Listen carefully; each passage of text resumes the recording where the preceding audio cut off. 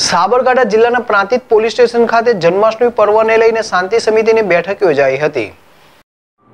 પ્રાંતિજ ખાતે દર વર્ષની જેમ આ વર્ષે પણ પ્રાંતિજ પોલીસ સ્ટેશનના પીઆઈ આરટી ઉદાવતની અધ્યક્ષતામાં શાંતિ સમિતિની બેઠક પોલીસ સ્ટેશન ખાતે યોજાઈ હતી જેમાં નગરપાલિકાના પૂર્વ પ્રમુખ નીરવભાઈ પરીખ પૂર્વ પ્રમુખ દીપકભાઈ કડિયા યોગેશભાઈ રાવલ નટુભાઈ બારોટ રેખાબેન સોલંકી રાણા વકીલ મનોજભાઈ મોદી પ્રકાશભાઈ મહારાજ સહિત વેપારીઓ તથા હિન્દુ મુસ્લિમ આગેવાનો સહિત લોકો ઉપસ્થિત રહ્યા હતા. અને શાંતિ અને એકતા જળવાઈ રહે તે માટેની પ્રાર્થના કરી હતી. જીલ રાવલ જેડેશ ટીવી પ્રાંતિજ